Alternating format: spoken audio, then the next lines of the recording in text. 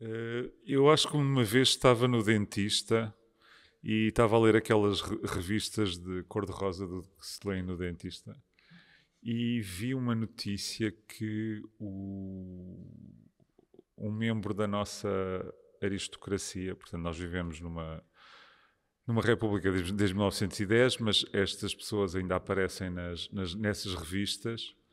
Uh, queria ser bombeiro. Eu acho que isso foi, esse cara foi a primeira ideia. Achei que era engraçado contar a história de um príncipe bombeiro. E, portanto, a, a ideia principal do filme foi contar é, é uma história de amor entre um príncipe que quer ser bombeiro e que se apaixona por um colega no quartel.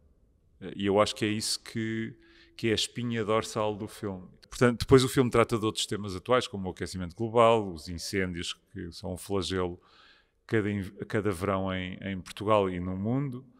Um, estas questões também. O que, o que, me intriga quando leio essas revistas, uh, essas revistas cor-de-rosa, é o porquê que as pessoas uh, se mostram a este desejo de mostrar aos outros como vivem, abrir as casas. Uh, e, e, o filme, acho que também esta questão da identidade é importante. É como é que nós nos mostramos, queremos mostrar aos outros, como é que os outros nos veem, como é que nós, como é que nos, nós somos realmente.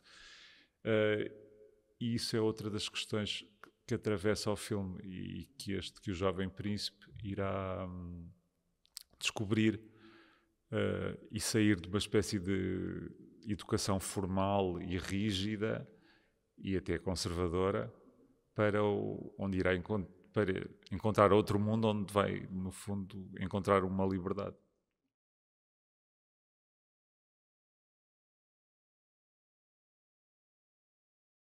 É um género um bocadinho inventado, porque fantasia musical eu não sei se existe como género. Uh, eu primeiro queria-lhe chamar uma comédia musical. O género chama-se comédia musical. E o filme é.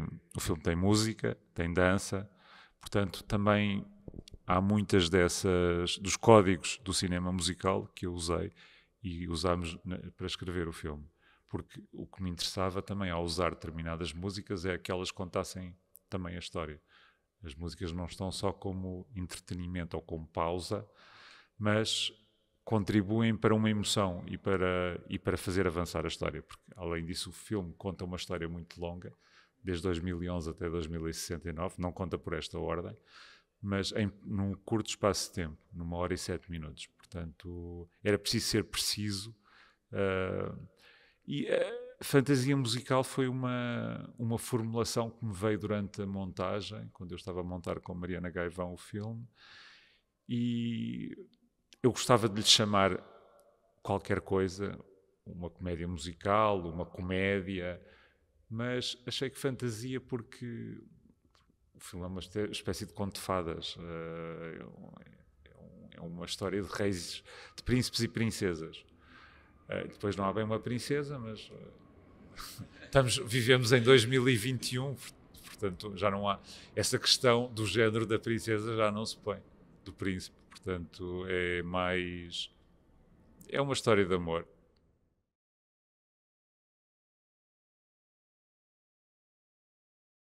Para mim, uh, foi também uma primeira experiência a trabalhar uh, enquanto ator, portanto, ainda estou ainda tô a, a, primeiro a vivenciar muito aquilo que, que aconteceu e o resultado final.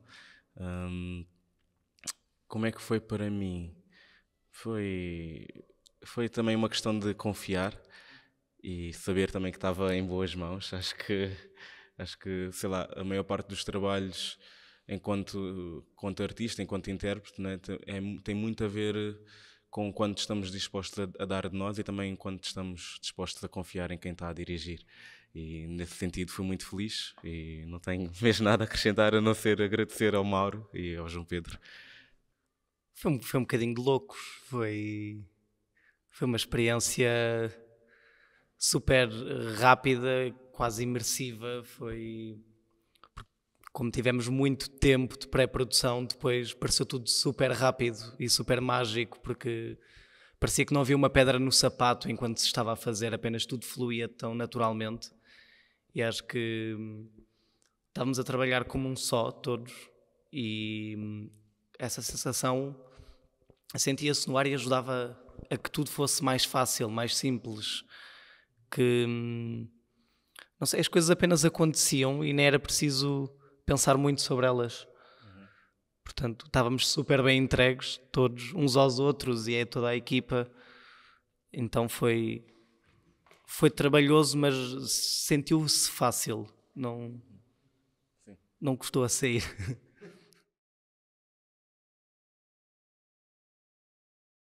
Foi mágico. Ah, para já, ah, foi a primeira vez que vimos o filme, porque até lá o João Pedro não nos deixou ver absolutamente nada, ah, e ainda bem. Ah, então. Ah, não, fi- Eu, eu, viram um bocadinho da coreografia. Porque nós fizemos birra, nós fizemos birra a dizer que queríamos ver, mas foi a ferros quase. Sim, Fizemos... Não, mas foi, foi uma experiência mágica, porque eh, o festival em si, eh, eu pelo menos sempre ouvi falar do Festival de Cannes, e, e o João Pedro disse: Vocês vão ver quando chegar a estreia, e de repente é tipo: Olha, vamos a Cannes, ok.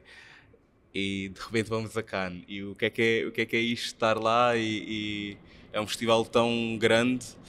eh, não sei, foi, foi mágico. Foi, foi mesmo mágico porque eh, o filme foi super bem recebido e não sei, não sei.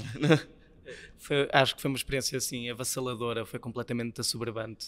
Eh, A reação das pessoas, o amor nas ruas.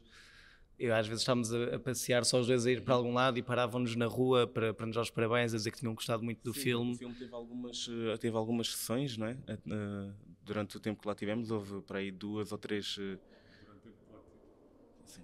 Durante o tempo lá que tivemos, teve quatro sessões. Nós fomos, a, oh, eu fui a duas, vocês só foram à primeira, Ah, e, mas depois teve mais duas sessões. Foi muito. É um bocadinho como o Fogo, Fogo Fato, eu acho que o título também descreve um bocadinho. Fogo Fato é uma coisa que é assim, é, acontece e, é uma espécie de explosão. Ah, e, e foi um bocadinho assim, foi uma. Eu acho que, e até depois lemos as críticas das. da- a, a reação do público foi, sei lá, explosiva.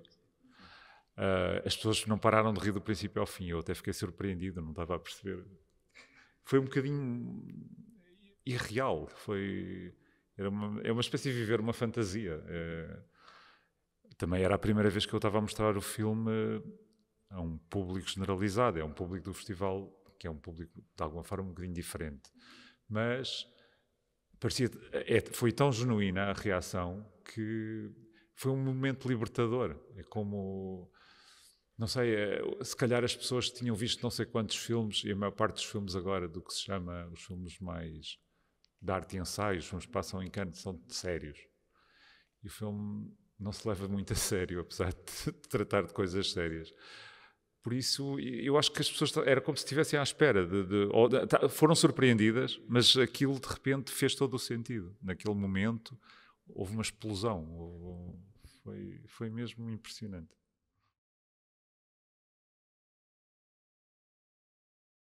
Expectativa, estou, estou mesmo curioso. Hum, pronto, tem, uma, tem um, um age limit maior de 16 anos, uh, mas ainda agora, quando estivemos no Queer na sexta-feira passada, as reações foram muito boas. Claro que é dentro do contexto do próprio festival, mas ainda assim, o filme vir parar a Lisboa e ter sido recebido como foi, acho que se calhar é indicador de como vai ser.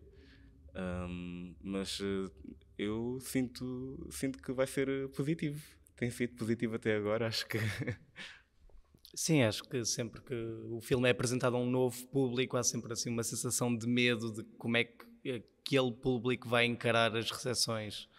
Ah, até porque lá está, ah, enquanto estava fora era também um contexto quase de bolha, não agora é Lisboa, é- acaba por ser um bocadinho mais aterrador porque já são as pessoas que nós conhecemos, que nos rodeiam, já é acaba por ter esse acabamos por ter essa timidez de é um público que nos conhece, então acaba por ser ao mesmo tempo mais uma ânsia maior, porque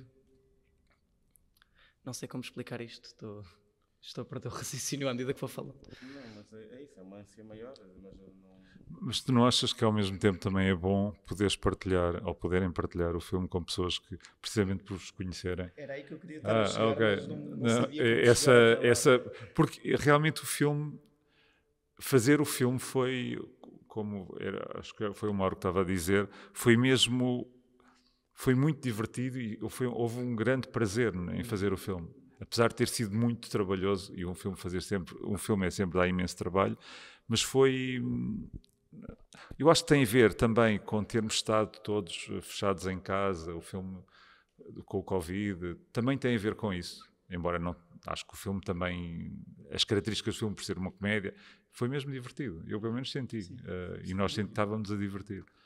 Ahm, e eu tive a experiência, o filme estreou em França na semana passada, portanto, na quarta-feira passada. E as reações estão a ser ótimas. Portanto, eu só tenho. Eu tenho sempre expectativas, eh, eu acho que vai correr tudo bem.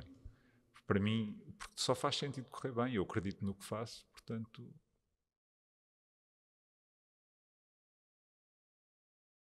Ah, Eu sempre, eu sempre trabalhei à beira do abismo. E, portanto, eu, eu sempre fiz os filmes que queria fazer. Como queria fazer. Portanto, com todas as dificuldades que tenho, porque não é fácil fazer filmes, e não só em Portugal, é, é difícil fazer filmes. ah, e há sempre ah, contingências e é preciso trabalhar à volta das contingências. Mas essas contingências também fazem que fazem pensar como é a melhor maneira para com as limitações que, que nós temos sempre.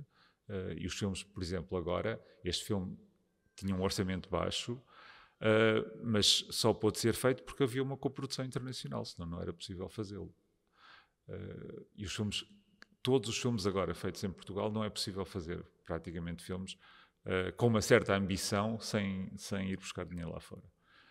O que é, não é fácil.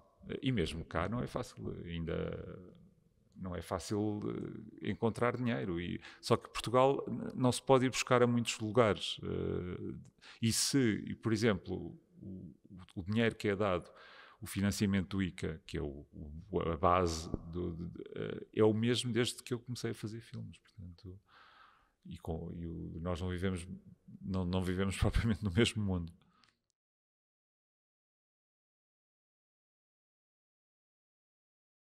Eu acho que o filme fala exatamente disso. No futuro vamos ter um, um presidente negro e muçulmano. De alguma maneira, é, mostra, seria uma evolução no, no contexto nacional.